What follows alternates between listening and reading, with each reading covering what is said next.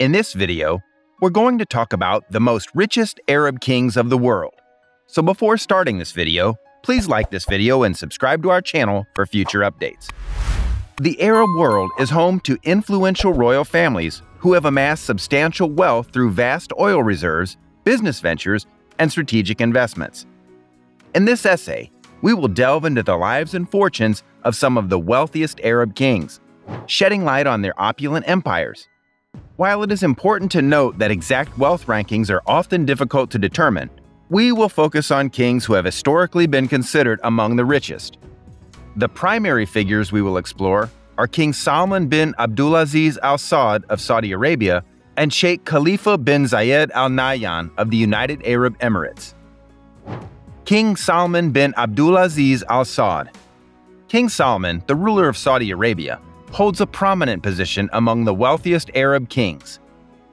Born in 1935, King Salman ascended to the throne in January 2015, succeeding his half brother, King Abdullah.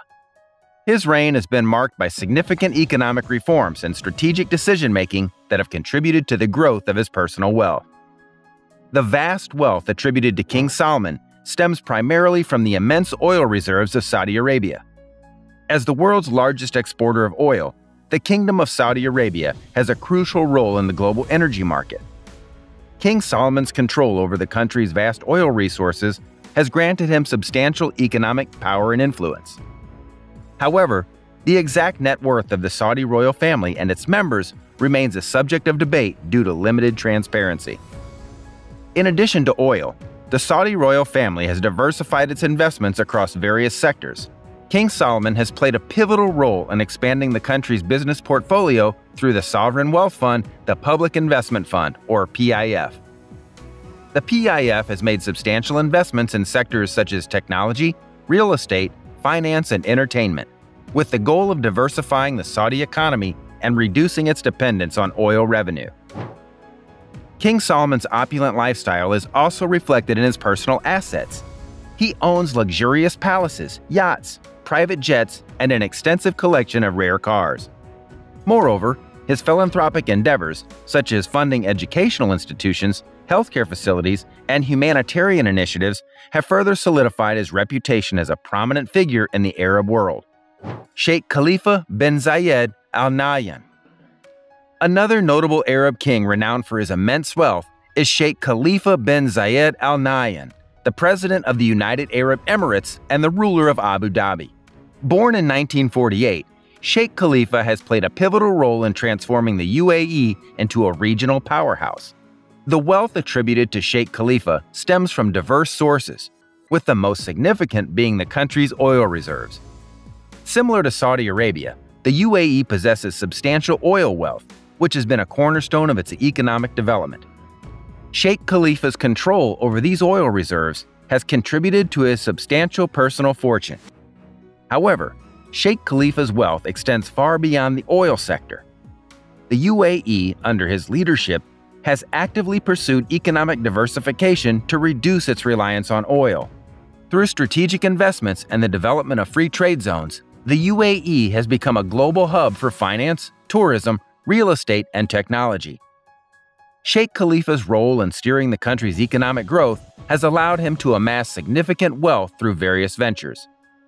The Abu Dhabi Investment Authority, or ADIA, one of the world's largest sovereign wealth funds, has been instrumental in the UAE's economic diversification efforts.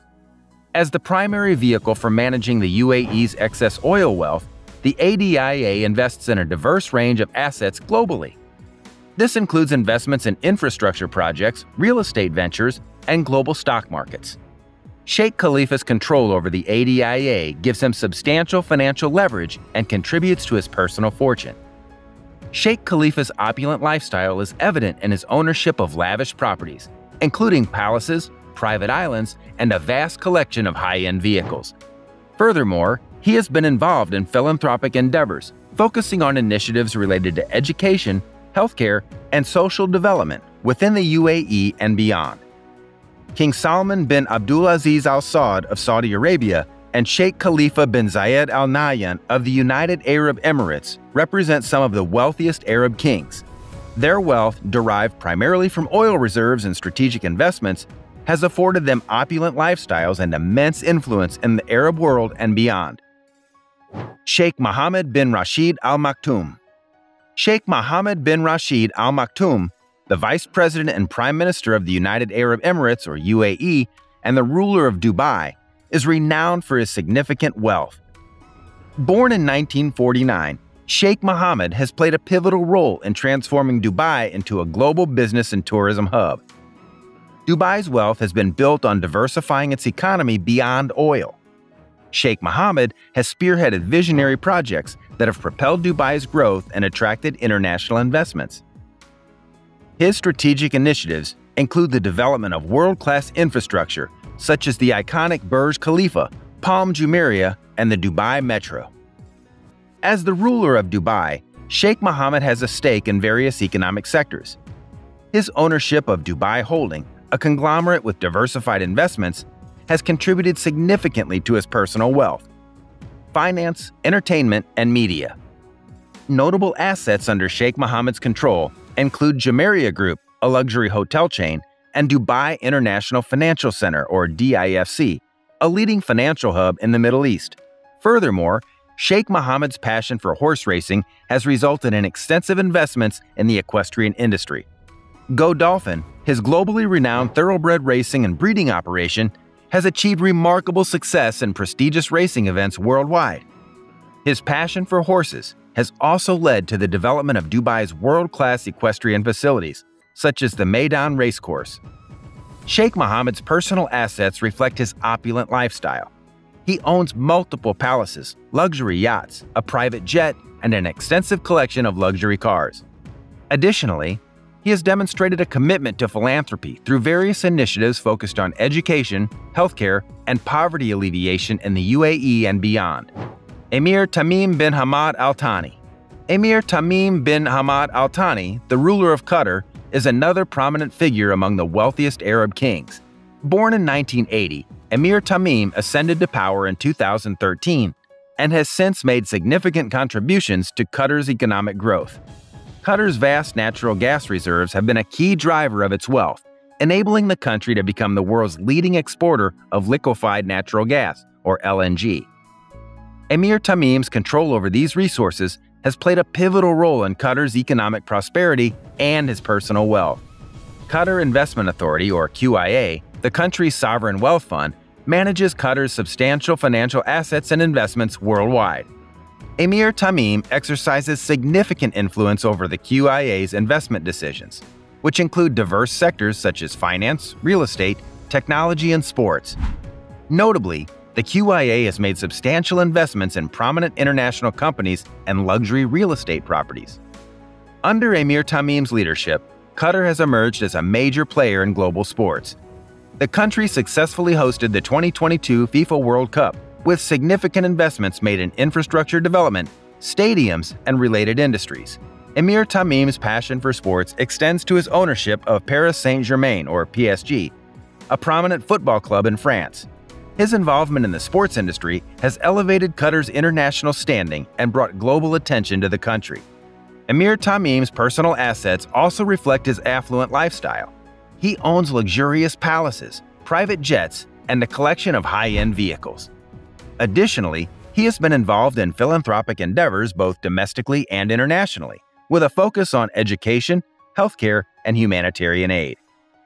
Sultan Qaboos bin Said Al Said Sultan Qaboos bin Said Al Said, the late ruler of Oman, was revered for his reign that transformed the country into a modern and prosperous nation.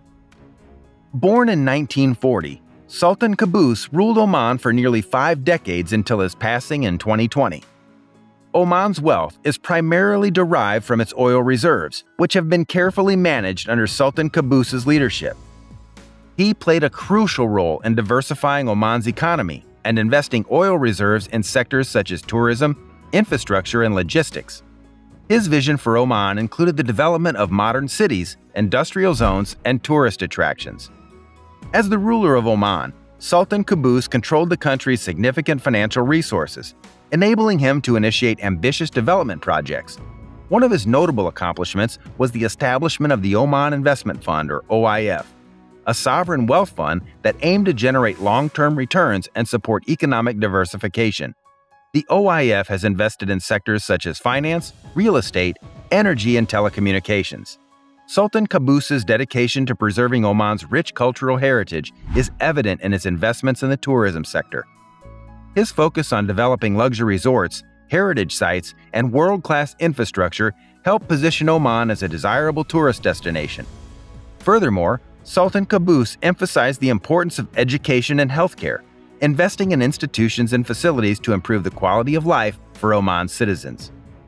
Sultan Qaboos's personal assets reflected his regal lifestyle.